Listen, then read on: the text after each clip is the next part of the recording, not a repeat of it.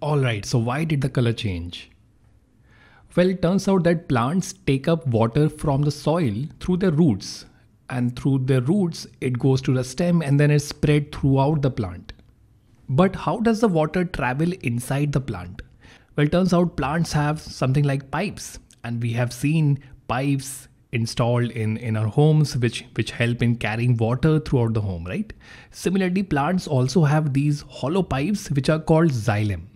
And this xylem is present in roots, it's present in leaves and stems, and through the roots, water enters into the xylem, it moves up, and as it goes and reaches to the leaves, it starts evaporating. So now more water can be drawn up from the soil through the roots. And when that water reaches the leaves, it evaporates, so more water can be drawn up. And this is how water is transported throughout the body of the plant.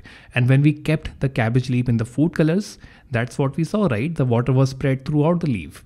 So over here, xylem is also present in the leaves, right? And that is why water could be drawn up through the xylem and that's why it spreads throughout the leaf. So water is transported to all parts of a plant and a tree through xylem.